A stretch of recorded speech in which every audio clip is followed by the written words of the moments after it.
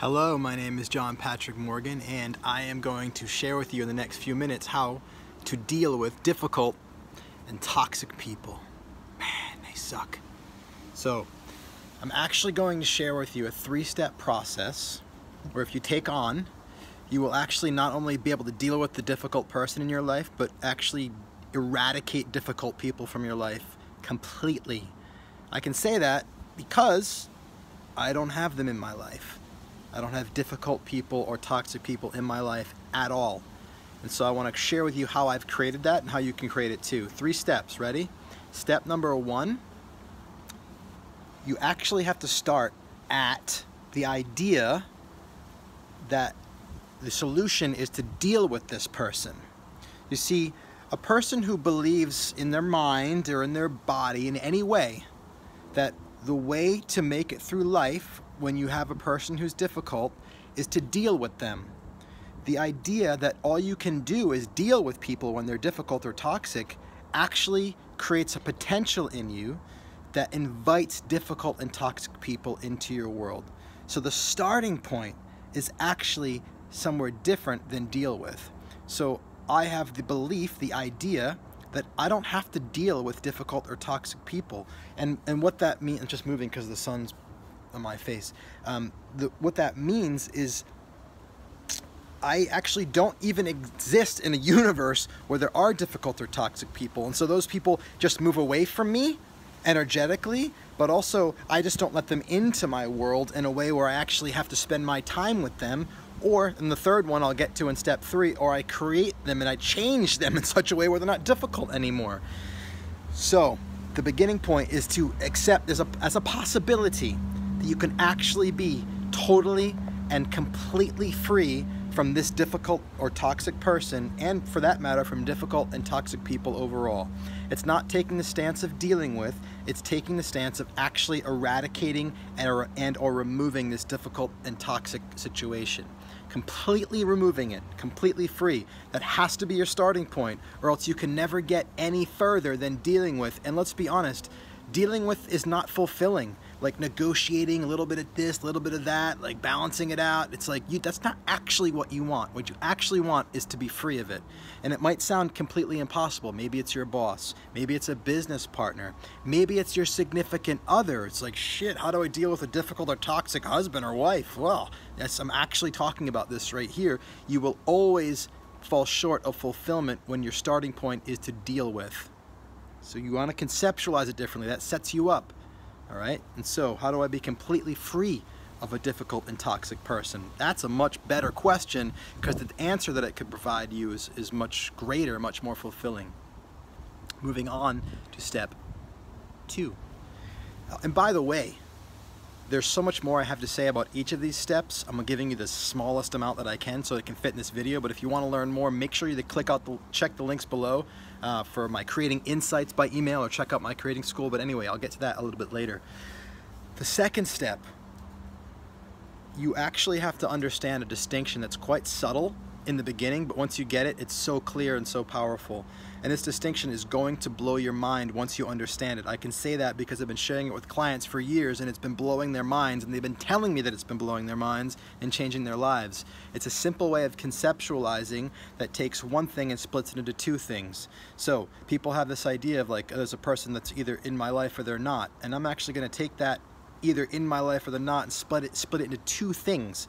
And so let me share the distinction, then I'll share what I mean by splitting it into two things. The distinction is allow everything, but accommodate very little. Allow everything, accommodate very little. And so what it does is it splits the outside world from the inside world. The first part, allow everything, that really points to the inside world of your heart, of your mind, of your body, of your emotions, of your thoughts. And the accommodation is what you do with time and space on the outside, in the outside world. And so a person is in your life both internally and how you experience it and externally and what time and space they take up, like the physical actual world. And so I allow everything on the inside. That's step two. How do I do that? Well, what does it mean to not allow? If somebody's being in a certain way, they're having a certain behavior, and I'm resisting that, I'm actually creating the experience of that as difficult.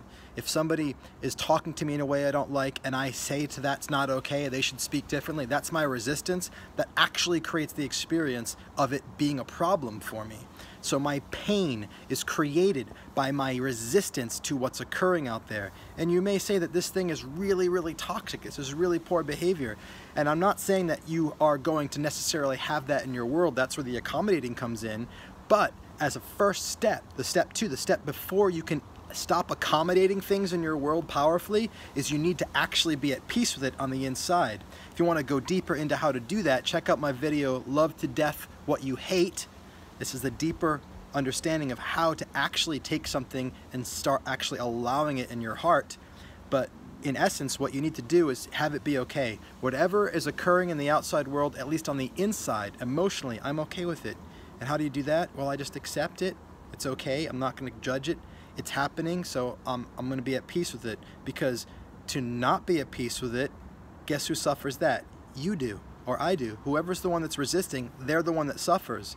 So you want to start by setting yourself free in your heart and your body by allowing it to be because it's happening. It's okay on the inside because if it's not, I suffer. All right, so that's step two. Allow everything. There's literally nothing that I won't allow on the inside because I don't want to suffer, right? So it's all good. Whatever's happening, it's happening. I'm cool. It's all right. Now, step three. This is where we look at the outside world and what are we doing with our time and space? Who are we allowing into our universe, into our world to take up our time and space on the outside? Allowing on the outside, I use the word accommodating. So on the inside, I allow everything. On the outside, I accommodate very little outside of that which I desire and that which I would love. And so if somebody's behaving in a way that's difficult or toxic, I'm not going to accommodate that. I'm going to say, no, and no, thank you. And how am I going to do that? I'm going to do it with peace and with relaxation. Because if I do it when I'm internally resisting, my heart is at war, then my external non-accommodation is fight it's aggression. It's passive aggressive at best, right? But it's aggressive and it's not gonna be pretty. It's gonna exacerbate it. It's gonna make it worse. And so a lot of you are probably watching this video having held back from saying no on the outside. And I'm saying that the reason you're not saying no, I'm sorry, the reason you're, yeah, not saying no on the outside, it's actually beautiful. You're not saying no on the outside because deep down you know that there's an internal resistance and then there's an aggressive nature. And if you say no, that's a fight response and that's just adding gasoline to the fire. It's not going to help. It's not healthy. And so you're actually right in your holding back. You're just in your holding back. You're wise in your holding back from not accommodating when you've got in you an energy of resistance because it's just going to get worse. It's not pretty. You can't create anything beautiful from that from that place. That's why before we stop accommodating behavior on the outside, we want to actually be at peace in our heart and be like, it's okay. See their innocence. Stop judging them. Stop judging the situation is wrong. Let go. Relax. Everything's okay. And now from this place of I'm cool, I'm relaxed, I'm okay, that's still not something I want in my world. I don't want to hang out with that. And now I can actually speak from a relaxed place as I speak to stop accommodating. So how do I speak to stop accommodating? Well, I speak not in no, no, no, all right, that's what I said earlier, I know, but actually the most productive way to not accommodate is to speak to what you will and do want to accommodate. So whatever it is you don't want to happen anymore, well, when that's not happening, what do I want? Well, I'll tell you a little quick story about a guy that was in a coffee shop every day that I loved going to, and he had extremely bad body odor. And it was to the point where I couldn't drink my coffee without enjoying also his body odor as I'm drinking the coffee and I was like getting like judgment like it's almost like this guy's secondhand smoke is going into my face and it's like what's wrong with this guy you know and it's like yeah but I know I don't feel very good right now for me to speak to the world to have the world adjust from this pain on the inside is just me spreading pain out it's like well he's gonna smell and then I'm gonna actually bring pain and violence out that's even worse why would I do that so I need to find my own peace with it first. And so I got in and I looked at my own judgment and I started to let go of that stuff and I saw his innocence. Anyway, I did all the work I needed to do to allow. I can teach you all about that in creating school. If you're interested, check out the link below. But in short, I got to peace, I allowed, and then I could actually see the dude and who he actually was. And I got curious and I started to talk to him from this pace of wanting to create a beautiful space where he was not only feeling loved, but I got to actually drink coffee in a way that didn't smell gross. There was not toxins, like speak of toxic people coming into my body through the odors as I was trying to drink it. And so I spoke to him. I was like, dude, what's going on? I just listened. So that's one thing that happens when you actually come from love. You think instead of just fighting, I can actually listen and get curious what's going on for this person. And then from that place, I was able to see what his struggle was and help him to see the impact that he was having. And he didn't even know that there was a candle they'd burn whenever he was there to compensate for it. He felt a little bit bad about that. I felt him find ways to get more of what he needed to get himself cleaned up and to smell not so much in a way that he would impact people. And there was a beautiful result created from that, a connection and understanding. Suddenly he wasn't there as much, and when he was there, he'd done his efforts to not smell so bad, and we had created a beautiful space. So I didn't accommodate it, but I didn't accommodate it by speaking from love and for what I did want to accommodate. I explained to him that I wanted to be able to drink my coffee at my favorite cafe in a way that I could enjoy it, while at the same time I wanted him to be able to enjoy his coffee too. What could we do to create that? So so when you don't want something, what do you want? Speak in the positive to that. The most important thing though, because this is just, if you try to do this from a heart at war still, it's not gonna work. You wanna speak to the positive of what you would love to create from being okay with whatever before you were resisting because you did step two that's at peace and all of this remember where we started step one i can actually be completely and totally free from this difficult and toxic person in my life either they move away or they become transformed to, to a not difficult or toxic person because a person at peace and in love was able to speak to what they really wanted, connect with them on a human level and create something more beautiful.